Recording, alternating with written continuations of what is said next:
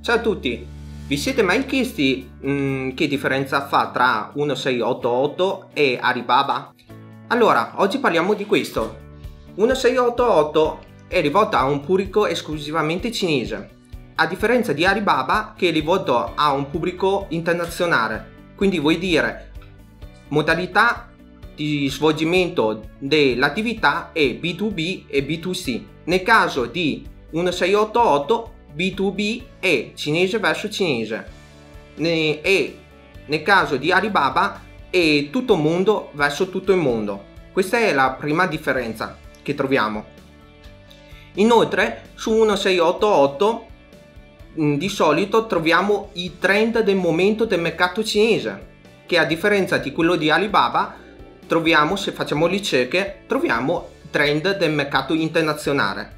I certificazioni proposti e sottostante alle normative eh, vigenti commerciali, nel caso di 1688 è rivolto al mercato nazionale, quello cinese. Nel caso di Alibaba è rivolto al mercato internazionale, quindi certificazione ha un standard maggiore rispetto a quello cinese, quello nazionale. Cosa ci conviene cercare su 1688 a questo punto? Se è rivolto soltanto al mercato cinese. In questo caso vi consiglio di cercare i trend del mercato cinese per poi avere una previsione di quello che ci sarà nel mercato internazionale perché di solito i commercianti cinesi propongono i loro prodotti su 1688 per vedere come si comporta le vendite, le statistiche e i guadagni. Solo dopo di questo provano a lanciare sul mercato internazionale.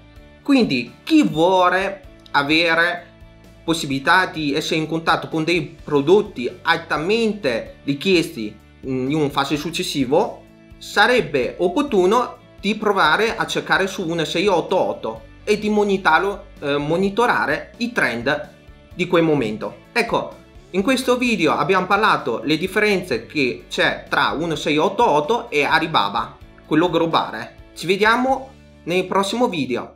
Ciao!